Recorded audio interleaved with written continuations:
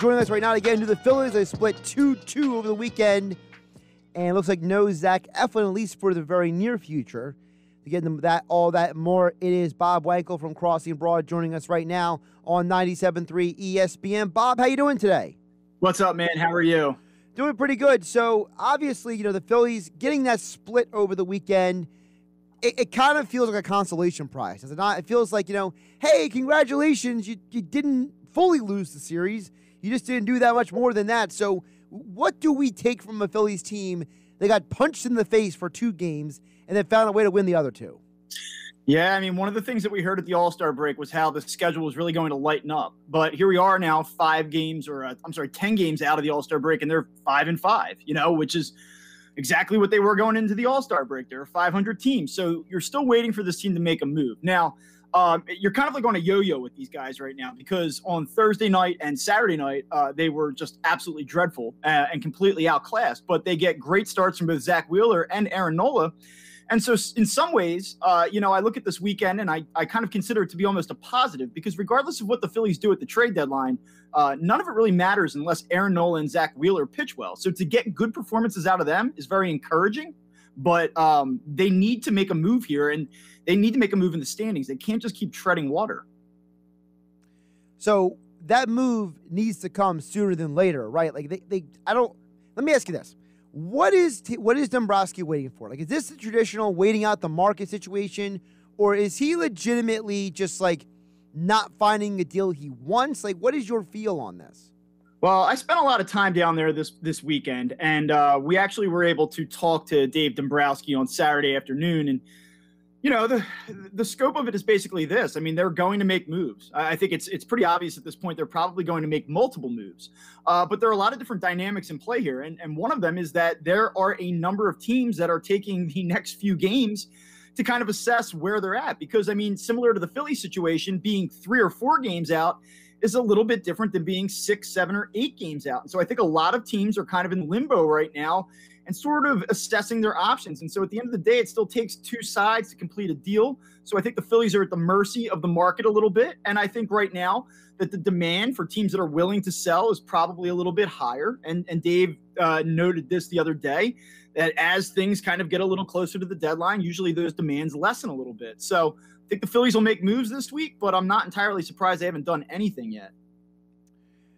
So, what is the move they need to make first? because I feel like this team has multiple needs, right, Bob? It's not like they need just one thing. They're not one piece away from winning the World Series. So is it if you're making the move or you're saying Dave Dombrowski, let's say he calls you today and says, "Hey, Bob, let me ask you a question. You know, are you saying bullpen first, starting pitching first, center field? What what should be the priority for this team?" You know, it's pretty crazy because for the entirety of this season, I would have said bullpen, bullpen, bullpen. And and certainly they still need to add to the bullpen. There's no disputing that. But what I do know is that they absolutely cannot function the way that the starting rotation is set up right now. And listen, as recently as Saturday, uh, Dombrowski had noted, like, hey, listen, Zach Eflin's going to come back. We feel pretty good about him returning very soon. But then today, uh, the latest update was, and I'm not down there today, but I saw a couple of uh, the other writers tweet out that, that Joe Girardi basically said he didn't come out of yesterday's bullpen feeling like he wanted to. So right now, you have Zack Wheeler, you have Aaron Nola, and then you have three question marks behind him. I mean, getting Spencer Howard on track and, and him giving you five or six solid innings tonight would make you feel a little bit better. But even if that comes to fruition, I just do not believe that you can send out Vince Velasquez or Matt Moore, certainly not both of them, uh, every turn through the rotation. To me, those guys have to come out of the rotation. So I think that they need absolutely, at the very least, one starting pitcher, maybe two starting pitchers, and then uh, a couple back end of the bullpen pieces as well. I think that this team needs to make three different trades in order to give itself a shot. Bob Wankel from Crossing Broad joining us here on the Sports Bash on 97.3 ESPN at Bob Wankel CB on Twitter as the Phillies start their four game set with the Nationals tonight. So you split two with the Braves. All right, you didn't 100% lose, right? So now you go into the National Series. You got to beat the Nationals, right? I mean, they're trying to trade Scherzer now. Strasburg looks like he's done for the year. The Nats are pretty much, you know, waving the white flag almost on the year. So don't the Phillies have to take three out of four in this series to really make a statement that hey, we're contenders in the NL East?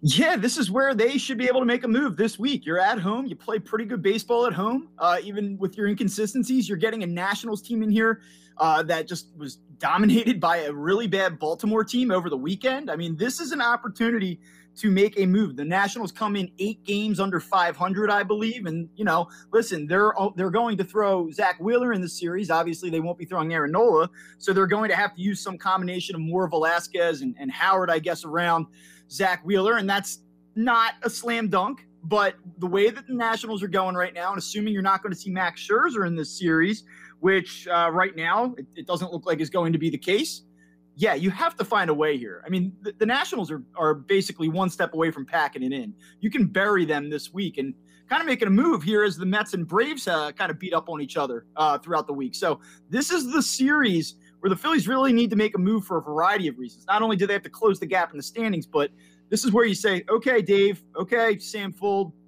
make a move. Dombrowski said a couple weeks ago that he believes they can score enough runs to make up for the pitching and the defense. Do they have enough offense in this series, Bob, to make that happen?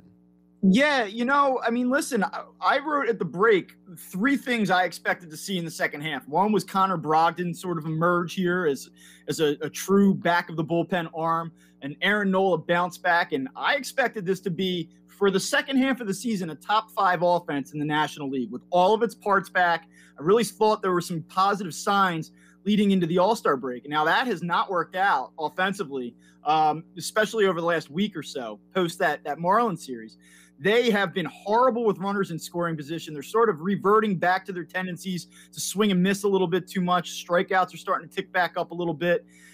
Uh, but really, when you look at it on paper, they should be better than this. And and you would think with this, especially the runners and scoring position stuff, that you'll kind of see a, a, regression to the mean and a positive regression. So I would expect them to start scoring a little bit more here. Um, and when you look at the lineup, I mean, it's it's still a pretty solid lineup. They could use help in center field. In ideal world, like if they had a, the bullpen settled and they didn't have to make moves in the starting rotation, I'd say, yeah, go out and target a, a real center fielder here because it's a it's a glaring need. But um, in light of all of their other needs, I just don't know that you can address all of those different things. Speaking of center field, I know that the name um, Starling Marte keeps being thrown around because he's going to be a free agent. Is that a reasonable target for them in your mind? Because, I mean, that is a trade in division. It doesn't happen that often. Yeah, I mean, I think where the Marlins are at right now, they wouldn't be precluded from dealing within the division. Uh, it's not like they're they're in it. It's not like you're talking about a player that has three or four years of control beyond this season. So trading a rental player to the Phillies or trading a rental player within the division, I don't think is really something that that they would be scared from or you know scared away from. That being said, I mean, yes, it, it's a logical target. It makes some sense. It really, and I know this is probably stating the obvious, comes down to price. Uh, Dave Dombrowski on Saturday said that this team will not – trade high level prospects for rental type players. He doesn't believe that the Phillies are that type of team or that close where they would consider doing something like that. But I also don't think it's going to require an elite level prospect in order to bring back a player like that. One of the trends that we've seen in baseball over the last number of years is that very rarely do elite higher tier players get moved at the trade deadline. When I mean prospects, when I say elite tier players. So, I mean, that's just not really the nature of the, the, trade deadline anymore. So I don't expect the Phillies to have to try to, you know, take one of their top five prospects and flip them out of here. Um, where it makes some sense is like you look at where they're at with catcher right now. Rafael Marchan is a very nice prospect, very good defensive catcher, but there is a clear block to him being a, a player here with the Phillies. So players like that, Mickey Moniak, I think would be on the table at this point. Um, I think that uh, there are a variety of guys. Uh, Jhailyn Ortiz is a guy that kind of had fallen out of favor, but got very hot here over the last week or so. Uh, you know, recency bias sort of plays a role in these things, and I wouldn't be surprised if they move players like that. Now, I feel like everybody and their cousin has either texted the station, texted me personally, or tweeted at me with trade scenarios for the Phillies. Uh, of all of the million relievers that everybody and their cousin has brought up, the Phillies could trade for from Rogers, from the Twins to Kennedy from the Tech, Texas Rangers. Uh, do you have a favorite of those names? Is there is there a name that you're like, you know what, that actually makes sense? Usually, I don't go after the the big name. I don't. I don't. I just don't think it makes a lot of sense. A lot of times, I think you have to overpay. But when you consider the multi-year need that they've had with their bullpen, you know, over the last couple years, and a need that they're going to have again next season, I really think you can kill a couple birds with one stone uh, if you go out and make a deal for Craig Kimbrel. I mean, he's a guy that has a $16 million option next year. That's very expensive. I know the Cubs will probably say, well, there's control beyond this year, so we want a better prospect. But you could just as easily argue that, hey, you consider his age, you consider that he's in the middle of an elite season right now, but the previous two years he had struggled a little bit.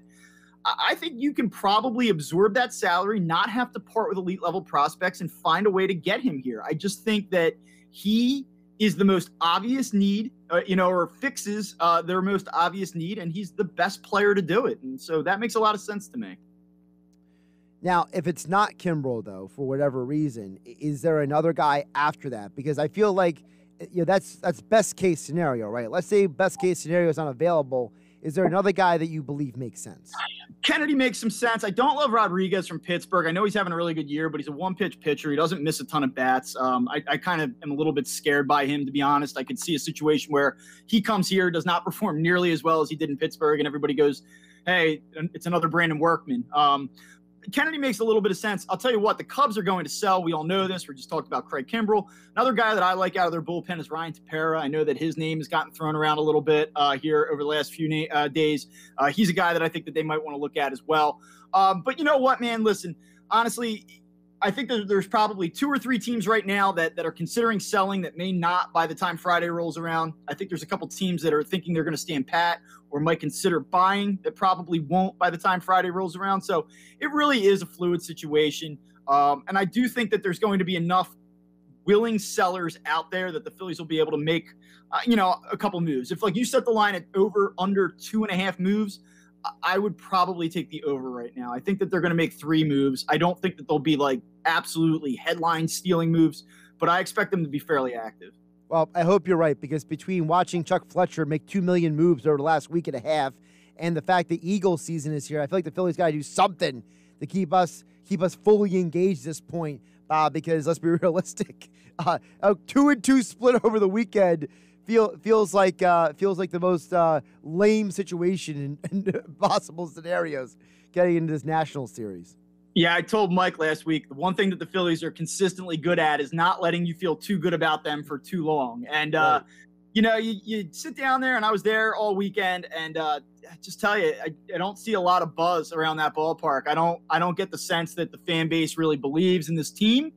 Uh, but you know what? You have one good series here you make a couple moves at the end of the week and, and things could change. I mean, we could be singing a very different tune seven days from now.